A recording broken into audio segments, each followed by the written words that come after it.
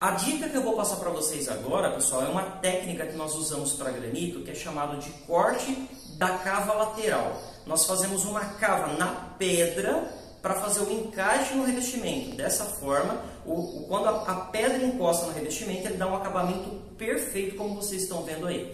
Só isso aqui embute na parede e isso aqui limita o chumbamento. Isso aqui encosta no revestimento, isso aqui, ó, tá vendo? Que vai entrar esse um centímetro e meio. Isso aqui até aqui, certo? A gente tira um pedaço para que aqui fique limitado, aqui fique embutido e aqui fica com o acabamento perfeito. Em vez de você cortar o revestimento, a gente corta a pedra e encosta a pedra no revestimento. O acabamento de cava lateral, pessoal, nós fazemos um corte na pedra e não no revestimento.